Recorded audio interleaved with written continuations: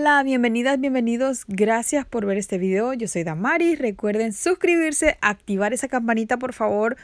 Mi canal es relacionado con belleza, pero subimos de todo un poco. Hoy unas trufas deliciosas o chocolates, ¿verdad?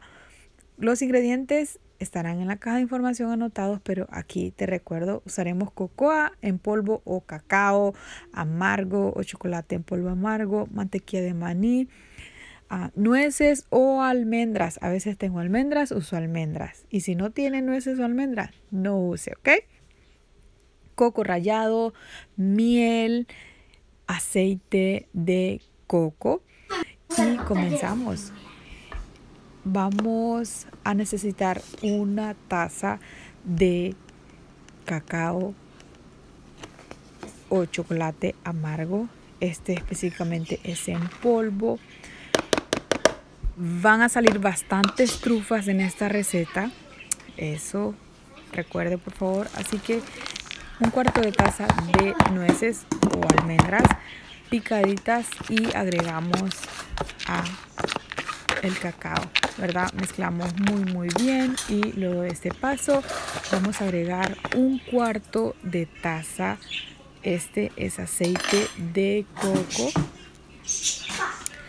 y vamos a agregar también media taza de mantequilla de maní. Esta no tiene absolutamente nada de azúcar ni de miel, ¿verdad? Porque vamos a agregar miel. Yo voy a agregar aproximadamente 3 cucharadas de miel, pero si a usted le gusta más dulce, agregue un cuarto de taza de miel.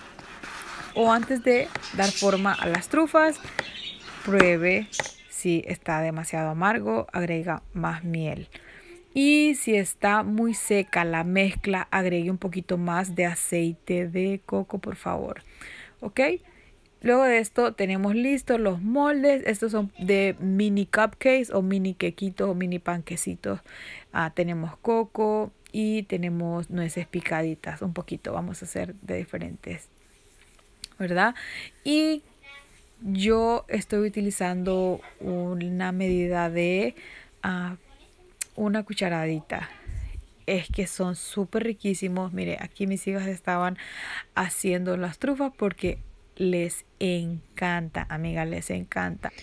Así que vamos a disfrutar en familia haciendo trufas, ¿verdad? A mí me encantan con lo que sea, con coco, con nueces, si usted tiene otra semilla en casa por ejemplo, las semillas de calabaza o de ayote o de pumpkin, usted pica muy bien esas semillas y ay, qué ricas, qué ricas, amigas.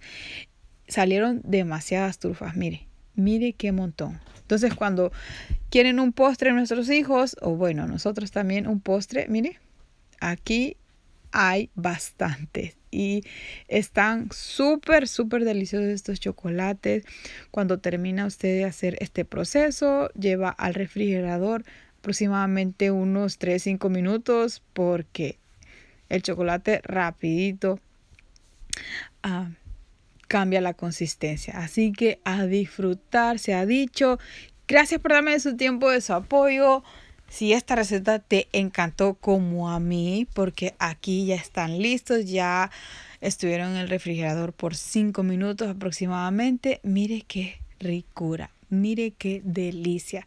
Por eso déjeme su dedito arriba, su comentario y a compartir. Redes sociales me encuentran como Damaris Makeup. Me encantaría que me apoyen allá en redes sociales. En un próximo video, si Dios lo permite. Como siempre, besos y bendiciones. Chao. Mmm, delicioso.